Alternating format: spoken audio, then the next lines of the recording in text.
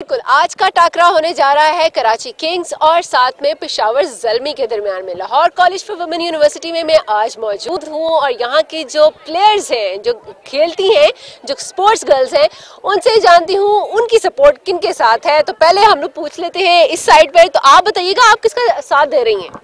आज जैसे कि कराची किंग्स और पेशावर का मैच है तो मैं सपोर्ट करूँगी कराची किंग्स को।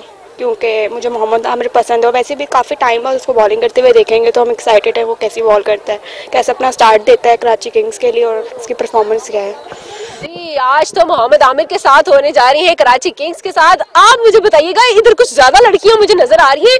आप किसको सपोर्ट कर रही हैं? हम पिशावर के साथ हैं, मगर यह है कि बाबर आज़म के लिए एक छोटा सा पैगाम है कि पहले वो कराची किंग्स में थे तो अब पिशावर की साइड पे हैं तो पूरी लॉयल्टी अपनी शो कीजिएगा और लॉयल होकर खेलेंगे अपनी टीम के साथ, क्योंकि जिनके साथ पहले टाइम स्पेंड हुआ था ना, बंदा थोड़ा सा ना छोड़ देता है कि चलो यार कोई नहीं।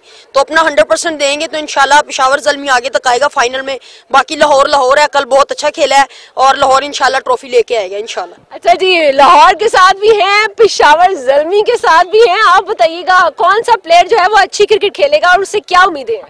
जी हम पिशावर जलमी के साथ हैं और मेरा फेवरेट प्लेयर भी बाबर आज़म है क्योंकि पीएसएल तो मतलब पूरे पाकिस्तान का होता है। जहाँ से मर्ज़ी खेले हम उसी को सपोर्ट करेंगे बाबर आज़म। वैसे हम इंशाल्लाह यही उम्मीद करते हैं कि पिशावर जलमी फाइनल इंशाल्लाह जीते।